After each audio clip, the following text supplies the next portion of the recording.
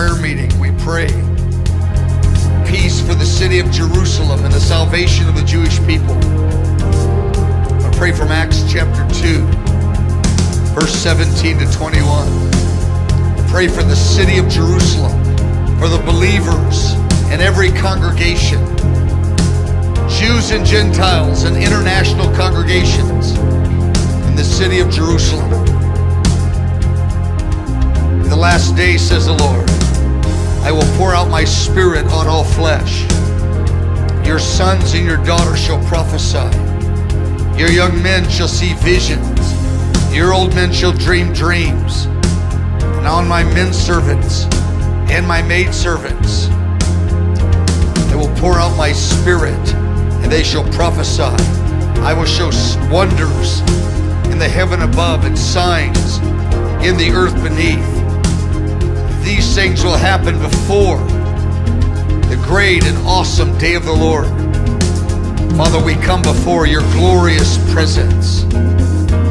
Father of glory, we come and we take our stand before you. Lord, even in the presence of your holy angels. Father, we bring your word back to you. The very thing that you had zeal for spoke to Joel in the days of old. And we know that you never change. We know that this word is dear to your heart. And I thank you, Father, for your zeal, for the move of the Holy Spirit in this hour of history.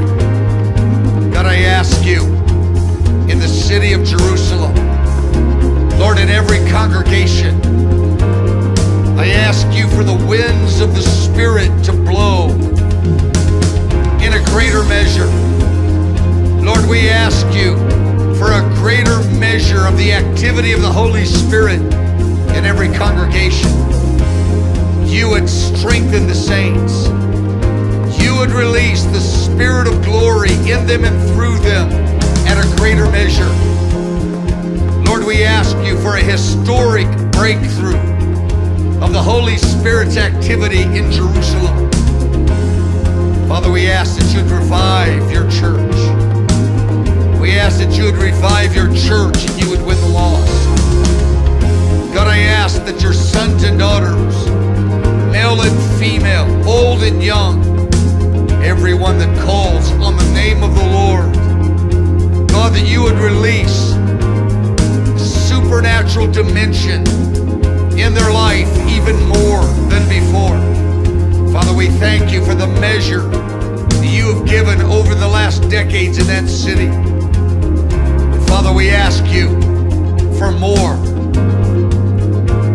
We ask that love would abound still more and more.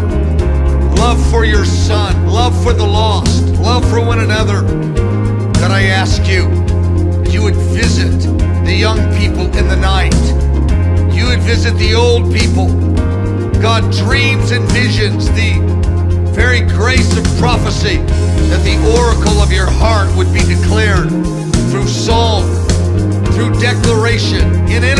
intercession, in testimony. God, I ask that you would strengthen with might every believer, the weakest and the youngest believer among them. God, I ask for your great mercy you would do today what you did in the days of old, what you did in Jerusalem 2,000 years ago, do it again. God, weak and broken people suddenly walking in the might of the Lord, fearless in power. God, I ask you that you would stretch forth your hand to release mighty signs and wonders as the word of the Lord goes forth in the universities, in the military, in all the congregations, in the marketplace. God, I ask you for a historic visitation of the Holy Spirit in the city of Jerusalem. Lord, do it again. I ask you for tens of thousands of people to come to the Lord in Jerusalem in the days soon ahead. God, I ask you for the first release of the great harvest. There will be millions and millions. God, I ask you for tens of thousands suddenly to turn to the name of Jesus, to turn to Yeshua, that they would call on the name of the Lord your church, as the Spirit of glory is released in power. So, Father, I come to you and I say, in the name of Jesus, pour out your Spirit with signs and wonders, dreams and visions. Lord, release great and mighty works in Jerusalem. Lord, congregation, stir up the spirit of prophecy, miracles, signs, and wonders, the glory and the beauty of Christ Jesus. Oh, that his name would be lifted high. Lord, release the very oracle of your heart. Oh, that they would prophesy.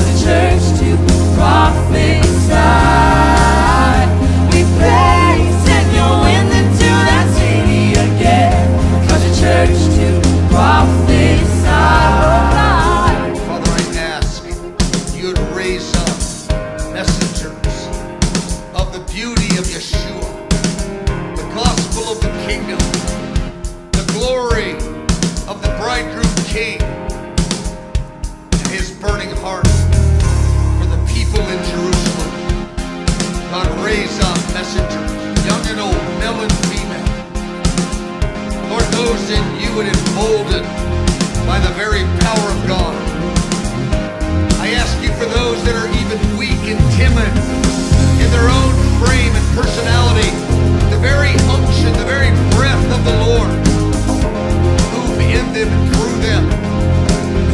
I say, body of Christ, body of Yeshua, arise in Jerusalem.